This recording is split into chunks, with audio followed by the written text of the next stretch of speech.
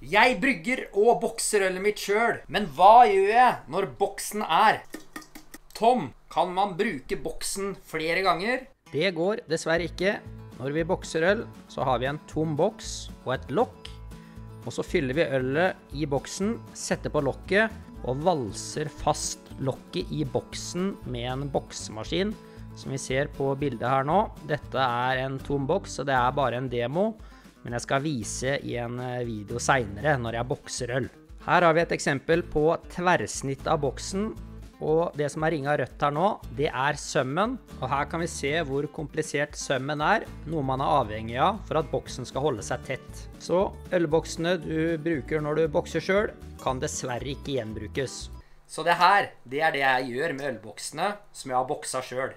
Opp trappa fra bryggekjelleren så har jeg en bokseknuser. Her er det bare å sette boksen inn, ta tak i håndtaket og presse ned.